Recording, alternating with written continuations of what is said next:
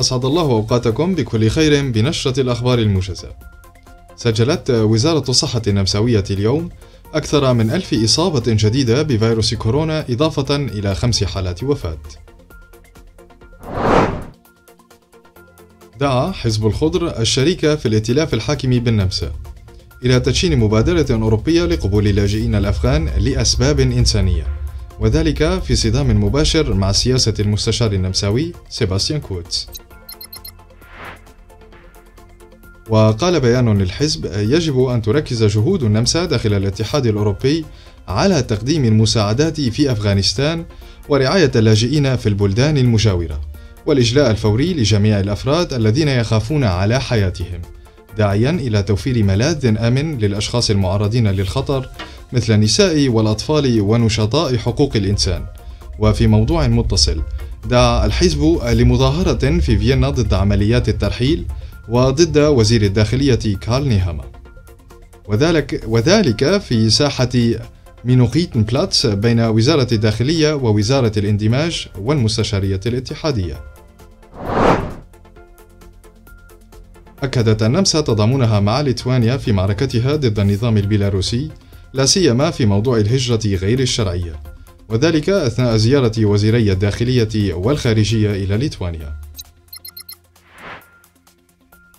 وقال بيان لوزارة الخارجية النمساوية من أجل تعزيز التضامن النمساوي في المعركة ضد استغلال واستخدام النظام في بيلاروسيا للمهاجرين كوسيلة للضغط انتقاما من عقوبات الاتحاد الأوروبي فإن النمسا تدعم ليتوانيا من خلال زيارة الوزيرين إليها.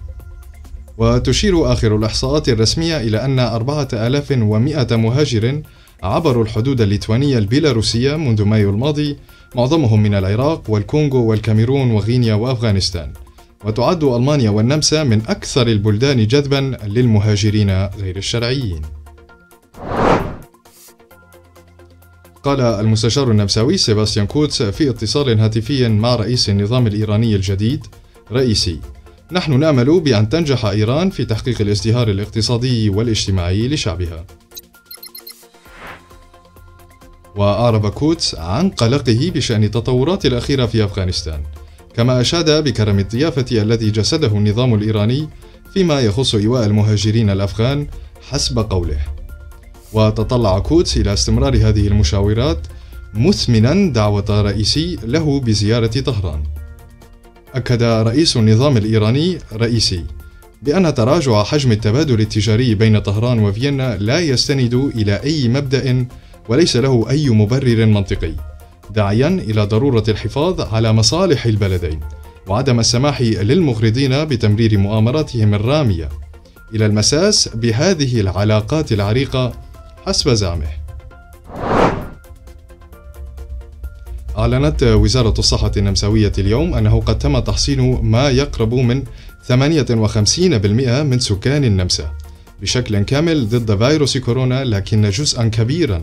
لا يزال مفقودا لمعدل التطعيم المستهدف والبالغ 80% لتحقيق مناعة القطيع في البلاد وذلك بعد انخفاض الإقبال على اللقاح. وقالت الوزارة أن الأرقام الحالية لا تدعو للتفاؤل في حين أن متغير دلتا الأكثر عدوى سيتسبب في بدء موجة رابعة في الخريف. لذلك فإن حملة التلقيح في البلاد قد توقفت بشكل واضح. ففي بداية شهر يوليو كان يتم تطعيم ما بين 80 و 90 ألف شخص يوميا وانخفض العدد إلى حوالي 20 ألف لقاح في الأسبوع الماضي وهذا يعتبر مقلقا بشكل خاص لخبراء الصحة. وقال عالم الأوبئة هيافي نظرا لعدم التحول إلى قاعدة جي أنت وبسبب كثرة المتشككين من التطعيم لن يتحسن الوضع الحالي بدون تدخل سياسي.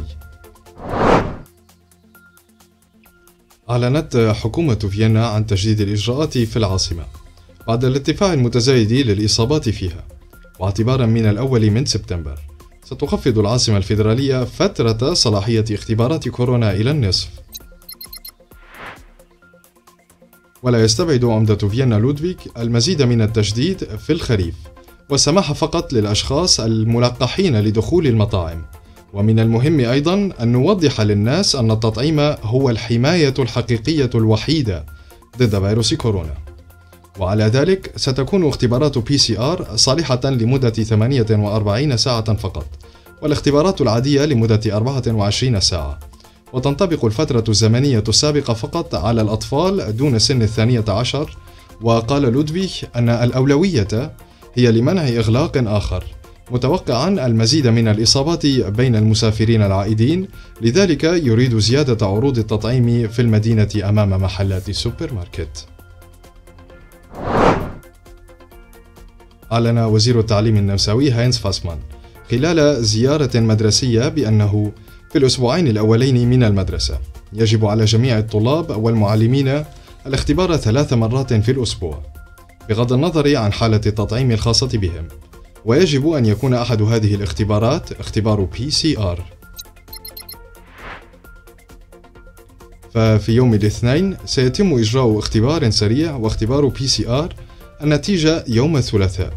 وبعد انتهاء فترة 72 ساعة من صلاحية اختبار PCR سيتبع اختبار أنفي آخر يوم الخميس.